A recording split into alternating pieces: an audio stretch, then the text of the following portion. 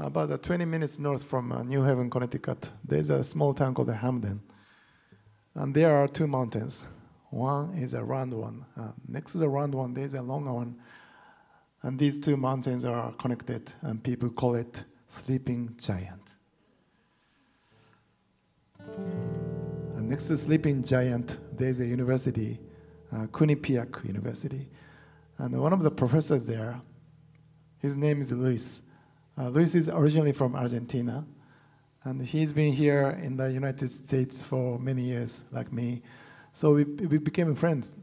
And a couple of winters ago, I was playing shows in New Hampshire and Vermont. And he knew that I was up in the area, so he called me up and he said, uh, I know you're, you're in New Hampshire.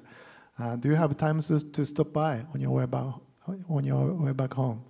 So I decided to stop by Hamden where he lives, and me and him did a, a trail walking through this sleeping giant. And it was December, it was a very cold winter day, but uh, it was a beautiful uh, experience for me. After I got home, about a week later, I got a package from him. And when I opened the package, uh, there were four thick books about sleeping giant. Luis enclosed a letter, and he wrote that uh, um, personally, I'm, I'm uh, attached to, to, this place. Uh, this is a special place for me.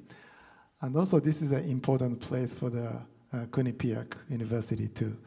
So I want to ask you a favor. I want you to compose a piece about Sleeping Giant. But before you compose, you have to study about this place. and it was very difficult to read. But uh, I try my best to read those books.